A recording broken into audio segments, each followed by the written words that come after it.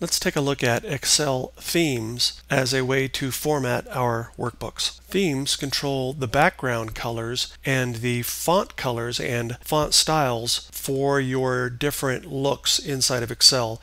It gives uh, the color and the font a consistent look. Also, when you use themes inside of Excel, you can expect to see those other color schemes inside the other Office products such as Word and PowerPoint. Now I don't have any background color, but I can see a change of font if I go to the Page Layout tab and in the first group called Themes, I will click the drop down arrow on the Themes button and I will choose different themes. And I can see the fonts changing from one theme to the next.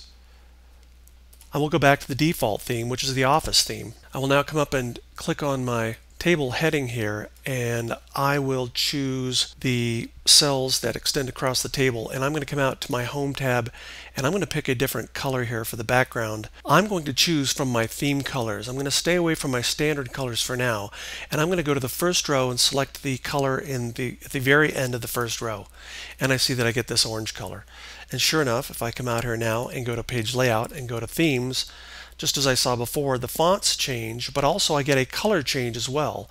And if I come out here and go to say Apex and click on Apex, I see that it's turned purple. But if I go out to the Home tab and I click on my drop down arrow for my color theme, I can see that purple is the last color in the first row.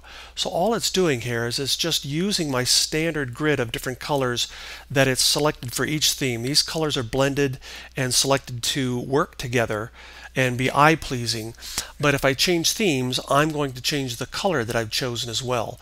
And that's why I see that um, it's changed from orange to purple. Likewise, if I come up to the cell that contains my company and I go up to the font and I take a look at the two theme fonts, I have Lucida Sans and Book Antigua. These are the two fonts I have to choose from under the theme fonts for this current theme. Next, I will choose colors and fonts that are not included in the theme. I'm going to come out here to January and under my fill tool, I'm going to choose standard colors and I'm going to go ahead and choose an orange color. Also under my fonts, instead of choosing my two theme fonts, I'm going to come down here to all fonts and I'm going to choose Algerian. And once I've done this, I've made a manual change on this worksheet to the colors and the fonts that I want. When you try to change a theme, Excel will realize that you've made a manual change and it will not affect those cells with your own custom change. For instance, if I come out here to page layout, go back to my themes here, and I choose a different theme like say equity or essential or foundry, you'll see that no matter what theme I choose, January and the background color and the font are going to stay the same. They're not going to pick up the theme. I'll go to Apothecary. You can see it stays the same. To fix this, all I have to do is come out and strip off the format that I'm using here. If I click on January, and I come back out into my home tab and go clear off on the right hand side and choose the clear button and choose clear formats it will strip off the manual format and now I'm back to following my theme.